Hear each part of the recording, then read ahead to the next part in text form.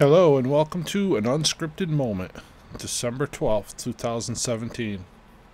Today, I want to talk about prepping, preparedness, preparedness for a post collapse situation. So, when we think of prepping, we think of things like uh, storing food long term, storing water, and having the ability to purify water, collect and process water. We, we think about um, long-term food solutions you know growing gardens uh, livestock things along those nature that nature. And uh, those are all very important things. We also think about um, you know means of defense guns being proficient in their use storing them storing ammunition. And again those are important things as well. We think about physical fitness attempting to get more physically fit, and though that is important also. But the most important thing, in my opinion, the number one prepping solution is spiritual preparedness. Right? Because without that, we really have nothing.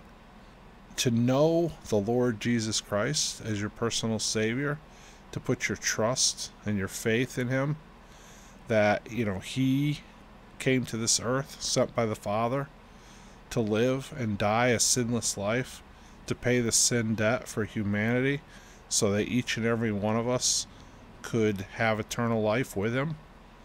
The bible says that the only way to heaven is through the son through jesus christ. And so that's important. We have to avail ourselves of that free gift. We have to trust in the Lord Jesus Christ. We have to believe that the promises that were made in the Bible were true. And without that, that all that other stuff really means nothing. When we think about, you know, preparing in the physical realm, all those things, well, that's important. That's important to extend our life here on earth, especially in a survival situation and it's extended a few more days, a few more weeks, a few more months, a few more years. It is important. And ultimately, He will carry me through those times, and ultimately, I'm going to pass away when His will plans for me to pass away. But I'm going to do everything I can to extend that time here on earth.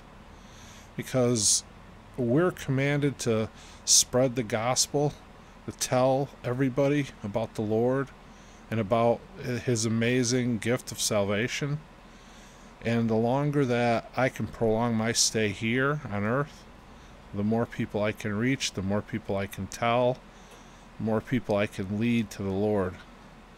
And so, you know, there's a promise from the Lord how to obtain that personal that personal salvation, eternal salvation. There's promises how to do that. And I trust that those promises are true, and I trust that that's going to happen. But again, we have a part in that as well. We have responsibility. And as a Christian, our responsibility again is to go forth into all nations and preach the gospel to every creature. So that's what we got to try to do. And again, the longer we're here, you know the better chance we have of being effective at that. So i think it's important that we all concentrate on that aspect. We look at what the bible tells us about our lives. You know it says your our life is but a vapor. So in the scheme of eternity in the the realm of eternity time span what do we live here on earth? 80 years 100 years 60 years whatever it is. That's just the vapor. That's just the flash in the pan of eternity's time. So what is a hundred year span in there? It's nothing. It's it's just a like the bible says a vapor. Poof. There it is. Here and gone. And here today gone tomorrow. And so that preparedness, that physical preparedness, again, it's important because it aids in the overall mission of telling people about the Lord. But if we don't have that assurance of eternal salvation, then really what are we preparing for? We have nothing. And in life, even even not in a end time situation or a post collapse survival situation, even just today in a normal, everyday, functional world life, that's important. And those all those things are still true. You know, without that assurance, we have nothing, even as the world functions. So think about that. Again, I think it's very important. I just hope that people will avail themselves of that and study on it and concentrate on it and and live it.